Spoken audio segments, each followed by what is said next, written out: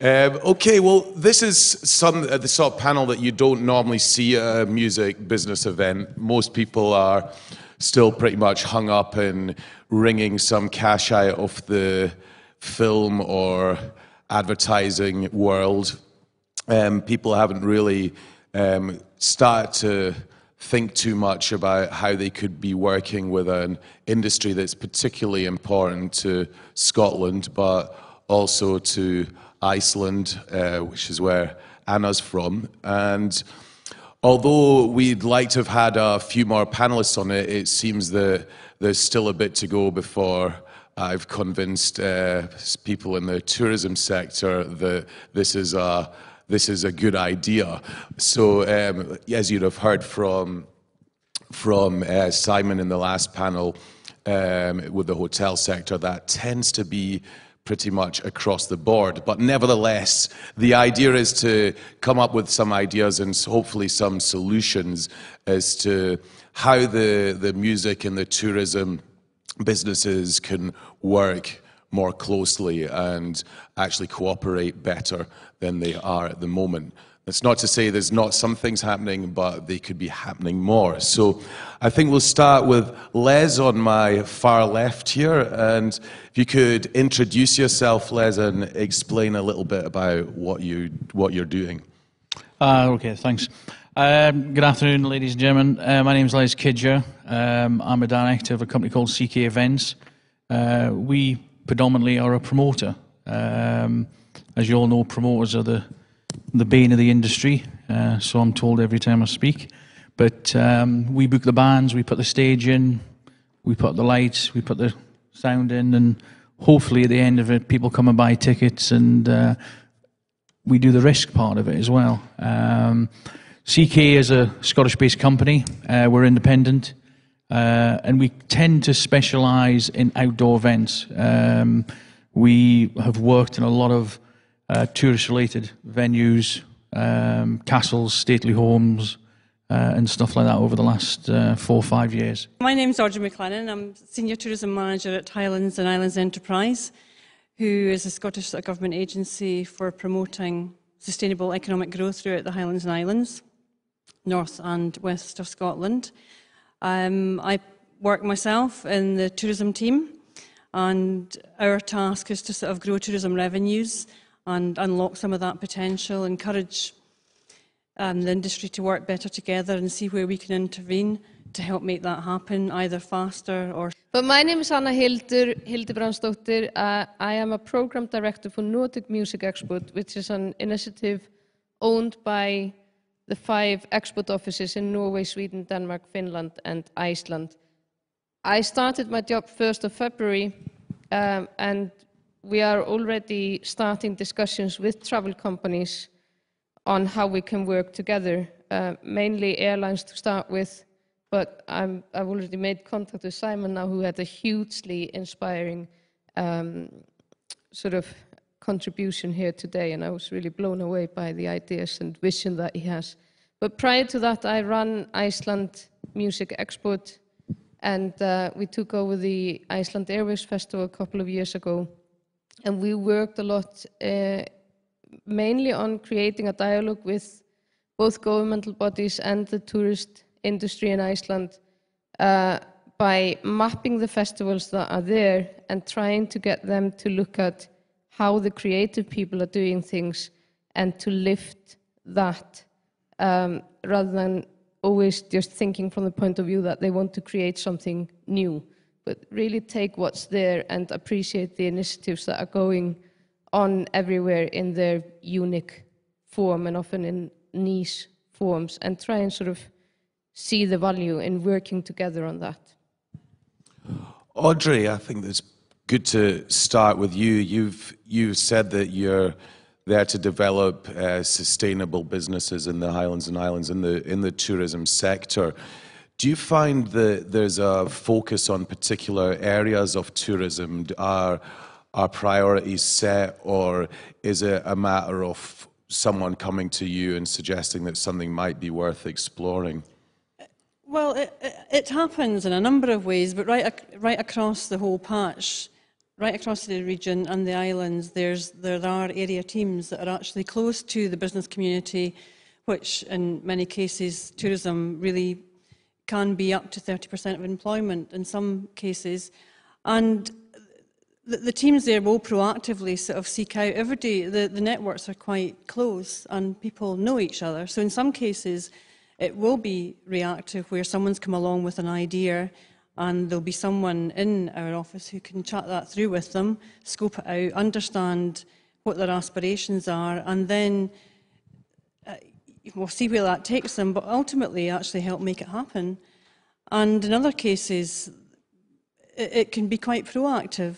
Um, I mean, uh, one of our biggest projects, a capital investment project just now, is up in John O'Groats. Now, um, I'd be surprised if anyone in the audience has not um, heard of John O'Groats before, and um, some of the press over the last sort of 10 years has not always been positive, but th there, is, there, there are things happening there, and the regeneration of that area is, is really positive. And that was proactive. And do you focus on a particular part of that? I mean, is the is the focus because it's um, it's the northerly most tip of the mainland. Is that what you use to to sell it, or what what particular areas or what particular subjects are used to, to promote destinations or tourism we, businesses? We, Islands Enterprise aren't actually tasked with uh, promoting right. destinations or tourism anywhere. That would be um, for Visit Scotland. That's their, their uh, core role and their bread and but the, the actual businesses, if you're helping businesses up there, I mean, what we'll, sort of we'll, we'll sit down with a business and understand how their, their routes to market, how they want to reach them, and what help they need in order to do that really effectively. I mean, one of the the biggest projects that we're probably involved in in terms of, sort of tourism is actually getting mar good market intelligence into the hearts and minds of the businesses and helping them to understand what market opportunities are out there. Tourism Intelligence Scotland is a, a joint partnership project between Visit Scotland, Scottish Enterprise and HIE. Scottish Enterprise lead this, but it's actually combining all the research that we do and getting it into a much more readable format that we can take out to the industry so that it's actually easy to understand. And it's, it's hugely valued by them. And LinkedIn, I, I guess there's about 600 people sign up to that and start discussions from the industry itself, including the music industry, Olaf. Yeah, well, I joined after your recommendation. It's very good. and, and the guides are hugely valued. I mean, there's the events and festival guide, which will be out um, quite soon. And that will be of particular interest to the audience here today. Les, you've run a lot of events since you started, a, a lot of big events in an area that you wouldn't really associate with stadium concerts. And I think that not just that, it's the fact that you've you've also run gigs in Cawdor Castle and Hopetoun House, which is is not really the first place that you'd you'd think of going to see a boy band. Um, in terms of what you're who you're bringing in, who who's coming to those shows, and what kind of um, economic impact, I suppose, it's having. Um, what would you? How to what extent are you bringing people into into plays, and to what extent are they actually coming from um, the actual area, uh, surrounding area? Yeah, I mean, a lot of it depends on the the venue and the area. One of the things we found, and you know, um, we're based in Inverness as well. Um, although we uh, cover Scotland, Edinburgh, Glasgow, Aberdeen, or wherever. What we found when we, we were looking in the market is that certainly from where we were up in up in Inverness, if we wanted to go and see a gig or a, a concert, we had to travel to Glasgow, travel to Edinburgh, travel to Aberdeen. So it's not just forty-two pound for a ticket or thirty quid for a ticket. It was a night's accommodation, it was the travel, etc., etc. So a night out for you know for me to go to a gig in Glasgow was probably three, four hundred quid. Um, we looked at that concept and thought, well, hold on a second. If, if we can take, for example, Westlife to Cawdor, the Castle is nine miles outside of Inverness. Uh, it's a beautiful castle, has a massive tourism industry there, but they need extra income, like any uh, tourism venue does. Um, we sold them the idea and we sold the artist the idea that instead of, you know, 12,000 people from the Highlands heading to, to Glasgow, Edinburgh, why not reverse the, the trend? Um, and very successfully on that show, um, they flew in, you know, and um, sometimes it's difficult explaining to a, a, an artist manager that, you know, you're, you're 10 minutes past Glasgow on a plane. You know, the, it's the same length of time out of London or out of Dublin or, or wherever they're coming to. Um, so once we got the concept past the artist, we just had to get the um, the public to buy into it, and then obviously it opened up a brand new market of people who wouldn't travel to concerts, you know, and um, the likes of once again Cawdor, with a lot of people in, in in the Highland area who'd probably never been to a show before. It had its downsides. They didn't realise you had to sit in a traffic jam for two hours and stuff like that. But on the upside, they, they, they turn out in their thousands. And, and, you know, certainly in the areas we're taking them to, and, you know, Hopetoun House as well, um, which is a little bit different. I mean, Hopetoun House is a, an absolute stunning venue. Um, and the one thing that attracted us to Hopetoun House was uh, Lord Hopetoun said, you can put the stage in front of my house. And that sells itself. You know, normally you've got to put them a wee bit away from the house and stuff like that. So, but a lot of these artists want to do it. And subsequently the you know the public like to see something rather than going to a, a tin box, be it a you know a MEC, NEC, or a Wembley Arena or something. And in terms of what it does for the for local tourism um, or hospitality businesses, are you aware of any immediate advantages for them? I mean, are people coming from far away and staying in hotels and things? Because one thing that I've noticed with, say, something like Rock Ness is that you've got a few hotels filled with artists, but there's not really anyone. Um, you can still get a B&B really easily. So Yeah. people are either camping, spending all their money within the site, and then going Yeah. home.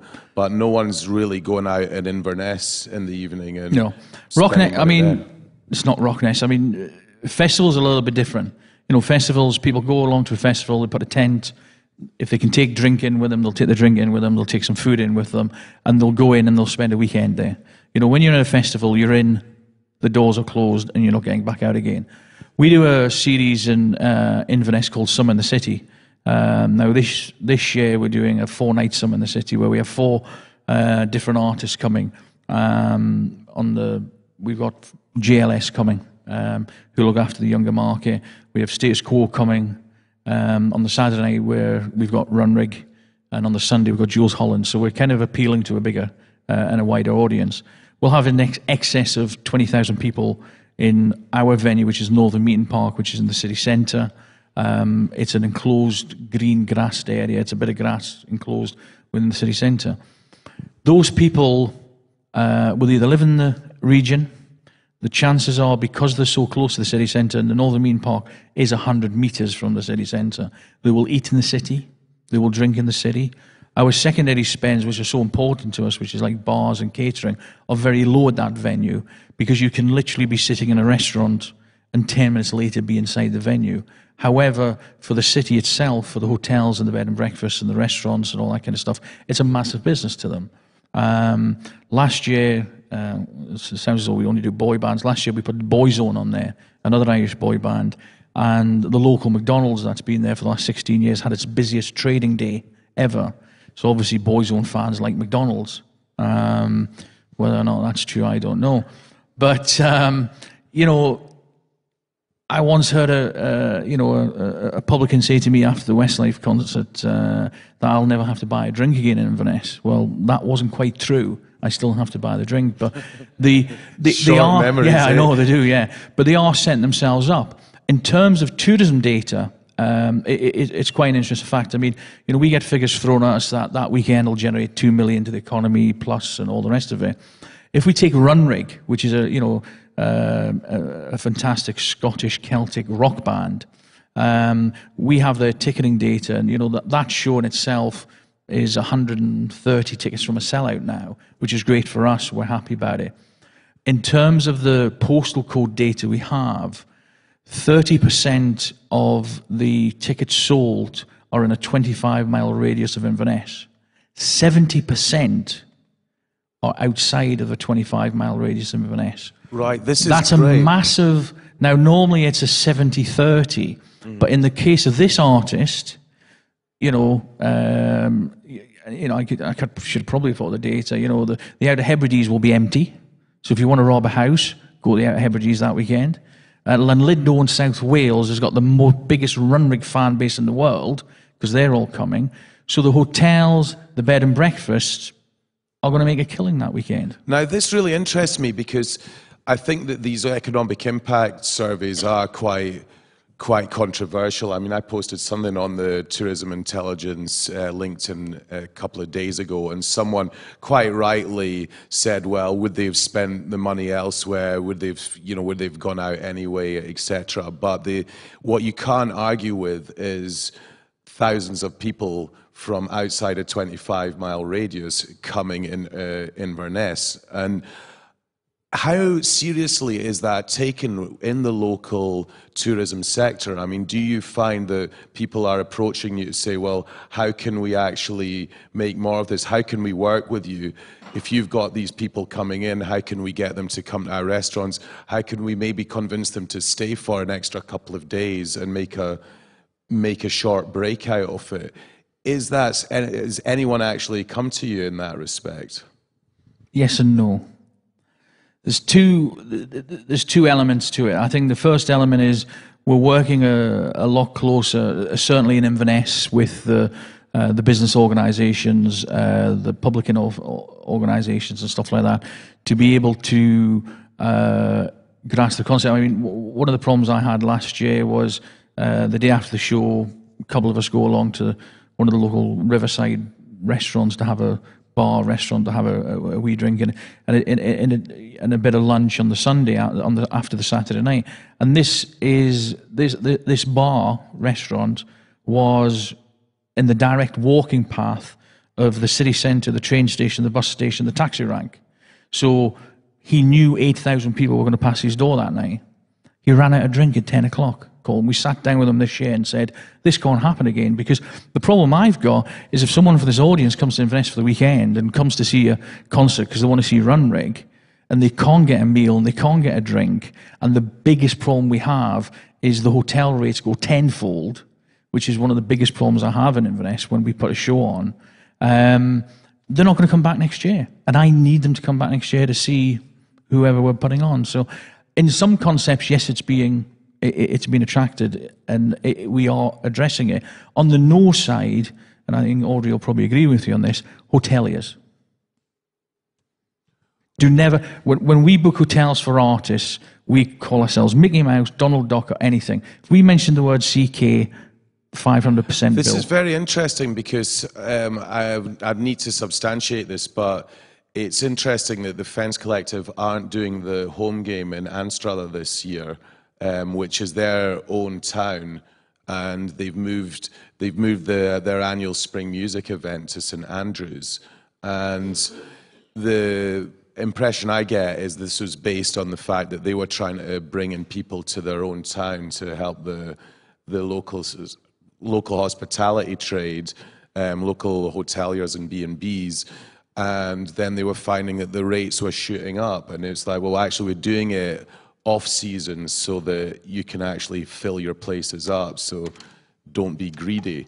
Um, I mean, how do you deal with this at Airwaves? I mean, it must be you got a similar situation to what they have in Inverness, and you've you've got limited hotel space. You've got thousands of people coming into town, often from abroad, to to attend an event.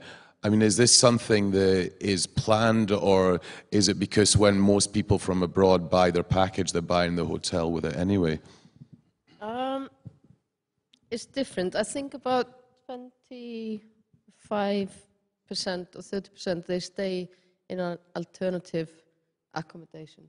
People like you are now constantly coming there, so you know people that you can sort of stay with. But I still always get you to get me a hotel, and I. but anyways, the uh, um, I mean, since Airwave started, there's been a massive development in hotel buildings in Reykjavik. So there is enough availability, um, but the prices have gone up. And what's, what's peculiar for us is that Icelandair um, had for a couple of years asked us to move the festival back two weeks because now the season is getting longer and longer. And we clashed with um, half term holidays from Britain, which we're taking up space on the planes and hotels. So we actually eventually agreed to, so the, for the first time now, uh, Airwaves will not be the third weekend of, um, of uh, October, but the first weekend of November. And this is giving us much more favorable rates for everybody. So we kind of, it's an interesting experience for, uh, to see whether that will put the figures up or, or whether we will actually lose the, the mojo by, by moving the festival. But it's interesting because back in the days when I was a consultant for the airline and for the promoter that did the festival, um, then in 2003, I actually suggested to the promoter who was always struggling with money, get a 10% commission from the hotels. And um, nothing came of it then, and it would be like in your dreams now that the hotels would give anything back. They just up their prices, and it's really kind of hard to deal with them. The one thing that has happened though is that there has been a, this experience of KEX hostel that they're a new uh, hostel in Reykjavik, and they just really got the taste of how profitable it is for them to collaborate with Iceland Airwaves. So they they put up one of the uh, off-venue events. There's a huge off-venue program at Iceland Airwaves where you can almost see all the artists that play for free during the day in bookshops or yeah, bookstores and record stores and and this KEX hotel, hostel really picked up on it and they just couldn't believe how profitable it was. Their bar was packed throughout the festival, and they just made skrillions of uh, kronas on selling alcohol to all these people. So that was a really good um, experience, and it's it's kind of interesting. The things that we've been able to argue now to governmental bodies is like, look at how much we deliver in taxes from the 4 million euros that foreigners who come to airwaves spend during this one weekend where nobody used to come. Before. I'd also like to underline that I, I, know how you conducted this research. So rather than being being something you plucked out of the sky, you've actually made it, it, made it um, the I guess the lowest figure that it could be. Mm. So you know, again, just to, if people are thinking, oh, well, anyone can come up with a figure and, and make it like that, yeah. it is actually. No, we conducted a survey where we asked people, we asked 350 visitors from abroad how much they spent, where they stayed. We did quite a detailed research that we have translated into English, so if you want to use it, you're welcome to. And we actually found out that what we thought was that possibly these would be more kind of budget travelers than the average traveler. But we found out that uh, the guests that come to Airwaves, they spend on average what the average spend of tourists that come to Iceland do spend. And to the benefits of tourism, we are reaching a younger uh, population that everybody wants to at some point to kind of reinvent themselves. So the majority, 80% of the people are 18 to 35 year olds that come there. But have just the connection with other ideas and whether tourist industry people sometimes um, approach you. One of the really, I, has anybody been to Iceland Airwaves? Yes? Have you been to a Blue Lagoon party? well, I don't know, for anybody that has gone there and anybody that has checked out Iceland Airwaves, the icon photo of the Iceland Airwaves Festival is from the Blue Lagoon party. It's this one of the coolest parties that you can go to with a really cool DJ and you hang out Maybe there. we should explain what it is. It's a geo. It's the was it the byproduct of a geothermal it, electricity plant yeah. in a lava field. So you've got all this kind of strange silica sludge, and you're outside in a lava field with all this steam, and you're sitting relaxed incredible. next to a power plant that could look like a nuclear plant, but it is actually an environmentally friendly uh, production of geothermal energy, and. Uh, right in the middle of a lava field. And this has been really developed as a tourist uh, destination. And now the Blue Lagoon uh, people have really picked up on how they can maximize the value for them of doing this, and they often have the initiatives of coming with ideas on what to do, what to do around this, and it's kind of and and it's been the coolest DJs in Iceland. They have picked up on it as well, so they perform there, and it becomes an experience like nothing else, where people hang out with white mud on their faces, and now they've developed a bar in the middle of the kind of water, so you can really hang out there, and you can have massage if you like as well and listen to cool music. Do you find that there's other visitor attractions that have, have taken advantage of this, that you've got this influx of people and that they're not just taking advantage of it, but they're maybe giving something back. So they're perhaps saying, well, we recognize that Airwaves brings in your X amount of foreign visitors, so we should sponsor it or we should work with them to, to actually get them along to, to our museum or our um, our tours? Because obviously the Blue Lagoon and Kex, they're, they're two examples, but are there any sort of specific specific visitor Yeah, there are, attractions that like, do it? um, The bus companies, they have taken advantage of it, and they now want to collaborate with Airwaves because they want to um, advertise the services in the Airwaves um, newsletter and um, in on the website. So they've offered Airwaves 15% commission of all the tours that they sell. These might be tours to uh, the Golden Circle or the Geyser area or something like that. So more and more the tourist industry has picked up on this, but it's taken some few years. I think this is uh, this is an interesting point because it, I, you know, if you take Belladrum, they did a survey of 19 UK festivals in 2010, I think it was, and Belladrum had the highest spend outside the festival site of any of these 19 festivals across the UK.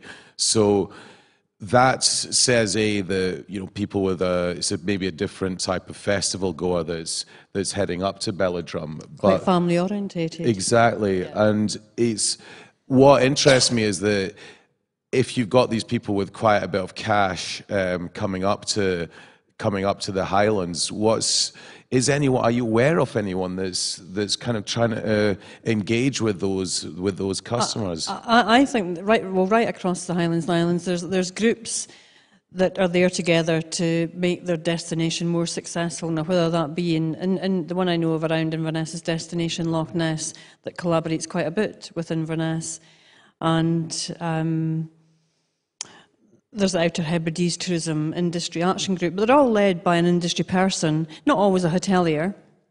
There's quite often visitor attractions around that, people who are putting on festivals. And I guess the minute you sort of start speaking to people, you know, good things can happen. And I, I think you've got to hear it from both sides of the fence. I mean, the basics of supply and demand, it's not just um, prices won't go up in hotels just because if it's a large conference it's on, if there's any any sort of spike in demand whatsoever, then it happens all the world over that the prices Of course, get yeah. elevated. But they're, they're, they're great examples. I mean, I guess I, I, I see some gaps. I don't see it. Um, it's actually easy to buy a, a package where music and the general sort of core services of tourism have been bundled together. So you you might have your food and drink and a, a day out somewhere, whether it be in the from Inverness to Kyle in the train or things that have been packaged together. But I actually am not aware of any any hotelier or other tourist attraction for that matter that is actually packaging something together. I mean, I, I There is. I mean, there's Rod Stewart outside and Yeah, I mean that that was yeah. I mean certainly for for the Highlands that was a, a, a totally different case. But I think you know th- th- there is companies out there like Super Break, who you know company been on a long time, and Yeah. if there's massive, if there's a large concert happening, they will package hotel ticket and um, accommodation together. And obviously, in the in the case of Super Break, they'll have prearranged rates for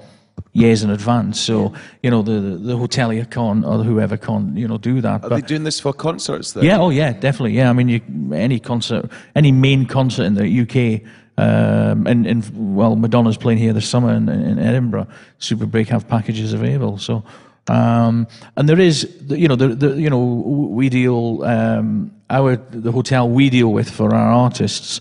They do packages with us uh, where we sell them the tickets, and, and and they obviously bring you know the general public to it as well. But you know, it's a, you know, music's a, a great thing for adding added value, and you know, Belladrum's one of the great examples where you can take your kids for free to a festival.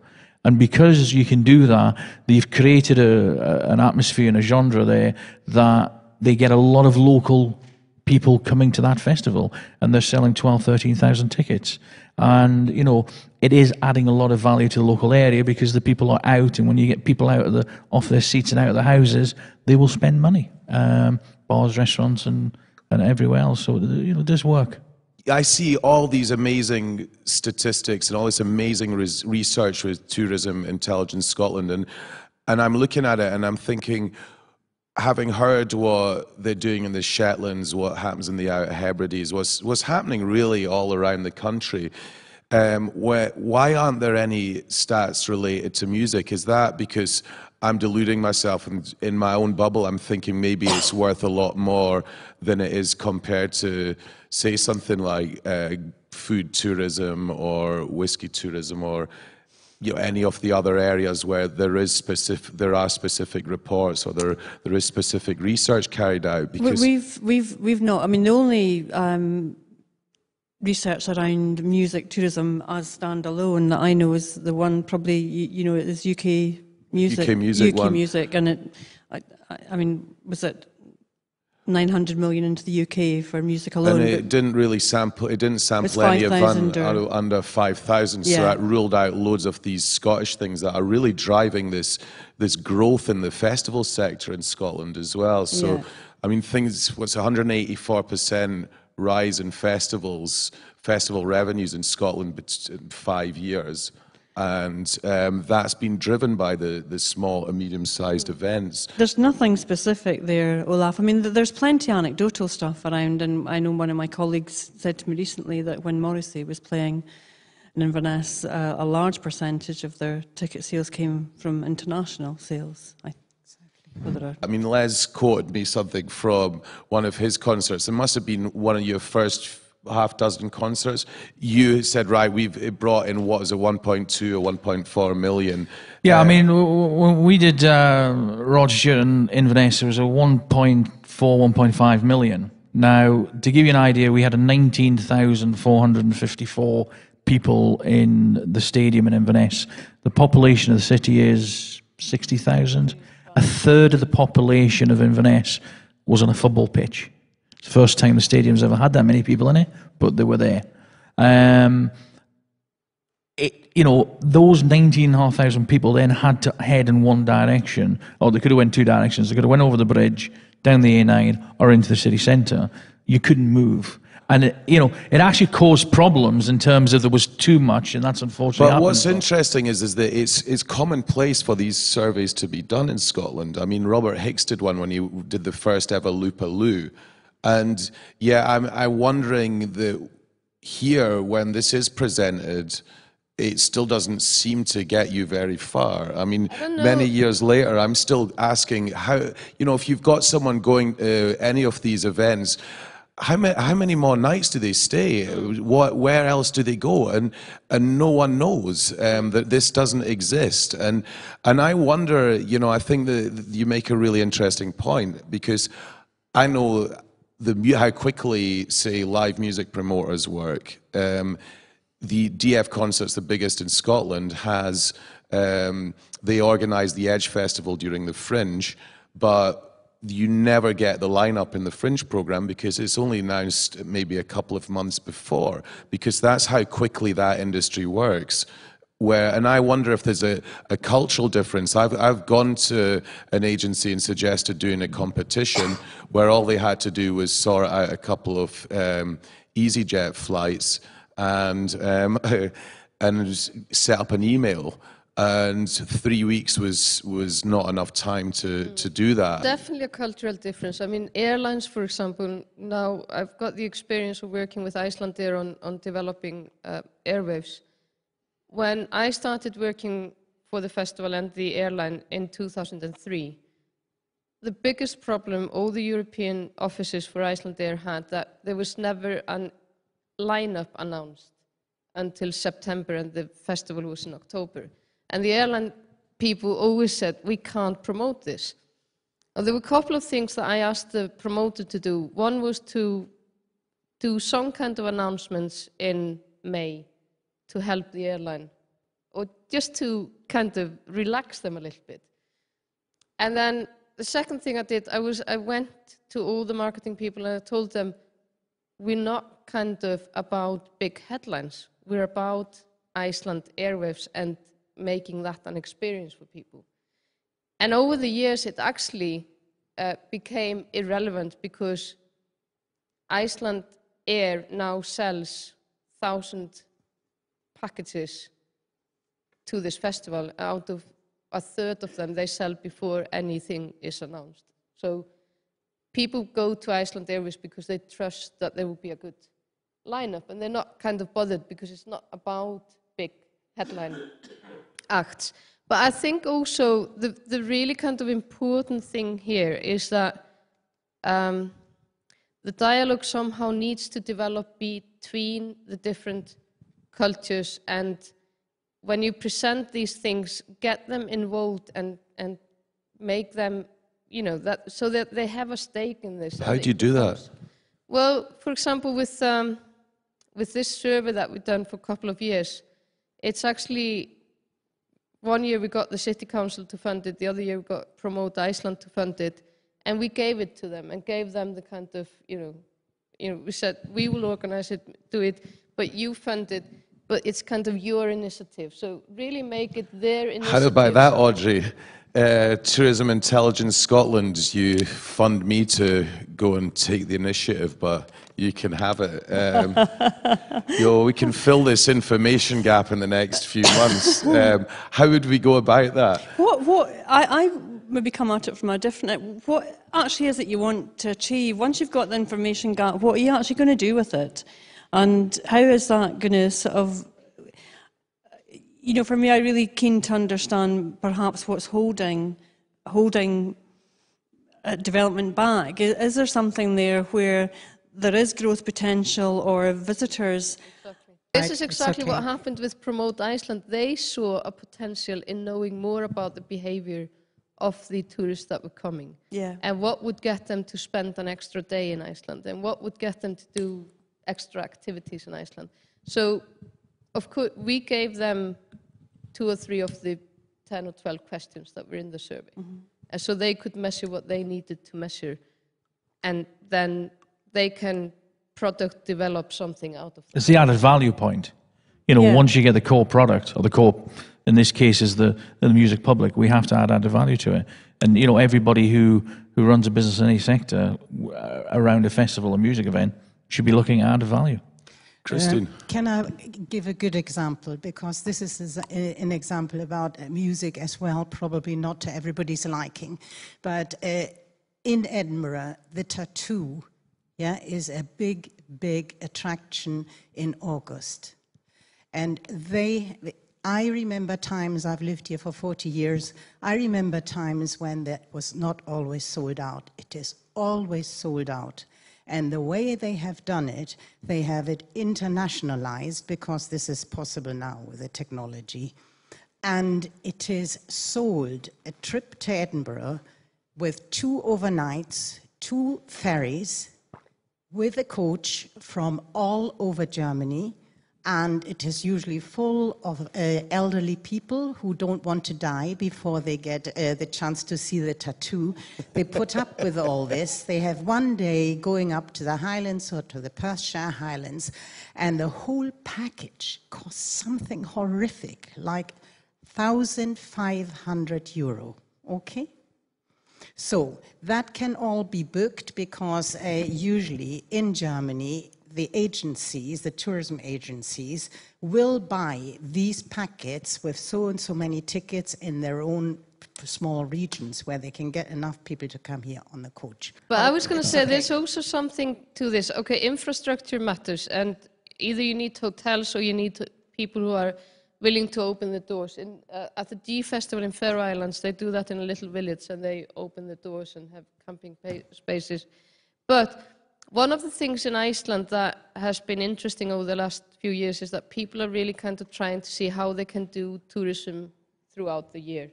What can they develop in terms of products or putting together what's there? And because if you're going to build hotels, you want to use them 12 months a year, not just three months a year. And, um, and one of the things that we've done as a music agency over there was to look at the schemes that the government is now uh, presenting and offer all the festivals our support and intelligence to look at how they can apply for these funds and develop products that are suitable for, um, it's called Iceland the whole year, outside the season tourism. So in, in fact, I kind of, it doesn't surprise me that the Edinburgh Festival is not particularly interested in um, in music initiatives in that sense because it's full. You've got half a million people or whatever coming here for the month of August.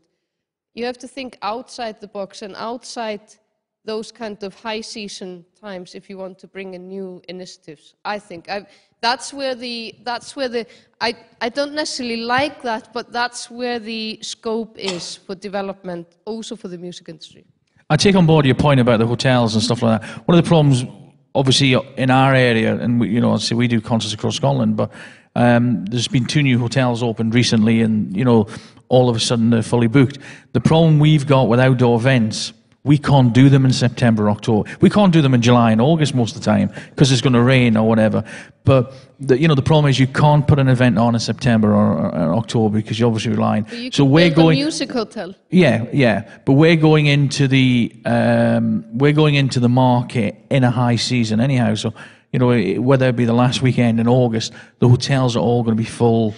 uh, Potentially, they're all going to be full and stuff like that. So it, it, it's a difficult balancing act in terms of, uh, and we just don't have the indoor venues across Scotland to be able to. Davey, what you were going to what were you going to say? Yeah, I was just going to pick up on a point you made earlier there about musicians not really doing the, the research that's maybe necessary to back up what we do. Uh, that's very true, and I think it's a, it's a sort of, uh, uh, it's not our kind of culture to, to do that, but it's great if you can get people to do it with you or on your behalf. But I think the problem that we have really, uh, certainly I'll, I'll only speak about the Shetland Islands, but I'm sure it's endemic to most places, is actually getting what we'll loosely call politicians or the corporate world to take the music industry seriously as an industry. And that's one of the problems we certainly had in Shetland. I got some research done reluctantly by Shetland Islands Council in 2005 to show the value of music to Shetland as a, as a commodity, as, a, as an industry. And yeah, there's only 21,000 people there, so it's no sparkling figures, but they're pretty good in the context of 21,000 people, not all of whom spend money on music. Let's be honest. There's some old people, some very young people, there's some people not interested in music at all. But anyway, what that research turned out was that the value of music to Shetland in a ring-fenced way was £2 million pounds a year in direct income to those who was involved with the industry, either in a full-time way or part-time way. But the Shetland as a whole, the rest of the drivers, eating out, hiring taxis, buying clothes to go to, to, to events or whatever, was a value of £6 million pounds a year. So £4 million was actually being generated by the music industry for the non-music industry in Shetland. And even then, when we proved those figures, and we tried to make them as conservative as we could, because knew, we knew the next thing that would happen was the politicians would try and disprove them, because they didn't actually see music as an industry as such. They saw it as a lovely social add-on. They saw it as a nice thing to push culturally, but they didn't see it as an industry, because the traditional industries were fishing, knitwear, or whatever. Music wasn't seen as an industry. And it was very difficult to get them to take even those figures seriously. Oh, they're not big enough. You know, but trying to put things into context, they're very interesting to hear what, what Les is saying about the figures they get in Inverness. I put on a concert in Lerwick, and I sell, for instance, the Matt Cardle gig we did a few months back. I sold two and a half thousand tickets for two nights in a, in a small arena in, in Shetland. Now, that's 10%, over 10% of the whole population of Shetland out on the town because of one person performing over two nights. And the amount of money that generates is a real uh, a lot part of those the people community are is, is coming pretty, back to pretty major. Shetland, right? So that's not how many of those are not not living in Shetland. All of those would have been in Shetland for whatever reason, either a visitor at the time. Nobody would have been probably coming. There might have been a handful that came in for the concert because it was a one-off, but he was playing Inverness as well. So I think it's unlikely. But getting them to take, getting Not so much HIE, I'll stick up for them. They're probably about the best supporters we have in, in terms of recognising uh, it as an industry. I'm not saying that because Audrey is here, it's a genuine comment.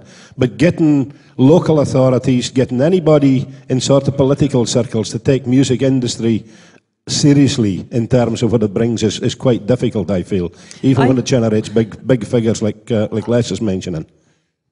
Well, I, I was just Audrey, no, yeah, come, I think this is. I, Uh, I was going to say that I think the tourism industry was up against that not that many years ago either. When the foot and mouth outbreak came about in 2001, um, the mantra at that time was tourism is everyone's business because um, the shop relied on the papers that were supplying the hotel, tradesmen were needed for the maintenance, the upkeep of the building, and supermarkets for you, you know it really really made a huge dent. And i guess if there were other s- subsectors in here today that you know every, everybody wants to sort of lobby to sort of say do you recognize the value that this particular sector brings in? And and i can i can actually sympathize and you know I, I can understand but you've just got to keep plugging away and eventually someone will actually say Yeah. i hear what you're saying and may, take action We we had that exact same problem. Um, the venue we now use in Inverness, Northern Meeting Park's a council-owned venue. It's, it's fantastic. It's got four walls, six gates.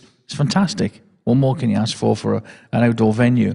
We sat around in a panel with uh, the council, uh, three councillors. One councillor stood up in front of me and said, "Nobody likes Inverness because it's a city, and these people will come anyhow. So you're not getting the venue." And that was the end of this discussion. We were not getting the venue. And we walked out, and I, I'm a taxpayer in that town. I thought that was disgraceful. We then went to the, uh, the provost as it is in Inverness and just turned around and said, thanks very much, but you don't want our business and you don't, you know, it's, it, it's used for a cricket match and they pay £38 a week. We're going to pay you X number of thousands for a week's hire. And 24 hours later, we had the venue. Um, and, you know, unfortunately, there is that kind of thing. But on the defence of councils, um, nine months ago, we, we approached Glasgow City Council um, and we asked to uh, rent Bellahouston Park off them for a, a massive gig that we were looking at doing at the time.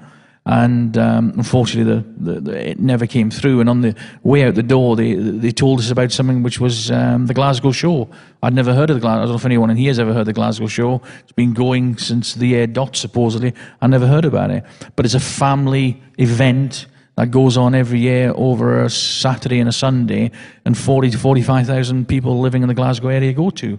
And he just turned around and said, by the way, we put on during the day Jedward and all those kind of people, but we have this stage and we have the sound and we have this and we have that. If you ever want to use it, give us a ring.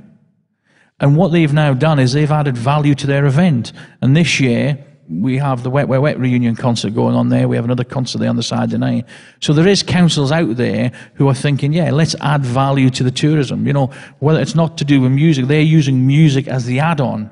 And you know, I think in some regions it does work, but you know, we have the same kind of uh, problems. But I think the answer to it is you've just got to keep knocking the door and and saying that. exactly. Audrey is right, and it's kind of, I think, to some degree, in all of the cultural and creative industries, uh, we need to maybe change our vocabulary a little bit for these people to understand what we're talking about. Uh, one of the things that we've talked about a lot is that everything that goes into arts is funding. And I've consistently just uh, claimed that it's investment. And then based on that, created the statistics that show what this funding gives in return. And we did, um, I you just, mean investment? Yeah. yeah, and it kind of, if you talk about investment, it's much easier for people to comprehend that it's something that gives something back, that it's not just money that disappears out there.